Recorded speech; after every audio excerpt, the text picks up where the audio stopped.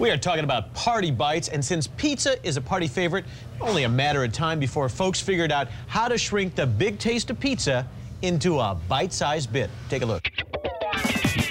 The pizza party starts early at Amy's Kitchen. The California company starts cranking out their pizza snacks at 2.30 in the morning. Even at this hour, the aroma is nearly irresistible. You're always hungry because, I mean, you walk in here and it smells delicious. You always kind of want to nibble, but you kind of have to control that urge. Amy's Kitchen has been serving up healthy frozen meals for 20 years. It's named after our daughter, Amy. That's how I keep track of the age of the company because it's the same as her age. The company food is really similar to what you would make at home. One of their most popular products is their pizza snacks. The process starts in the dough room. This is where the entire process for the cheese pizza snacks begins. Here we go. 500 pounds of dry ingredients mixed together with 30 pounds of butter and 175 pounds of milk. The dough maker will actually test the dough for elasticity to see how moist or how dry it is.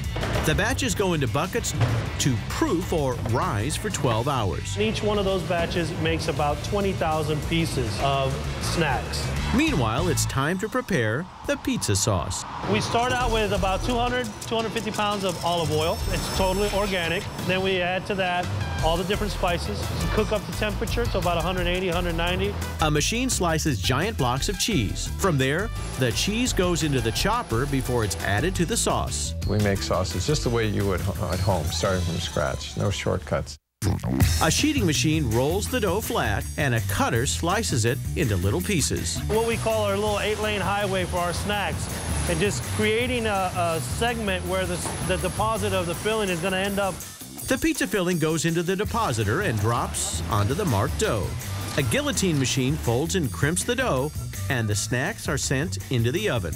Well, this is the exit of the oven. It takes about three and a half minutes to go through the oven, and the temperature is ranging around 400, 440 degrees.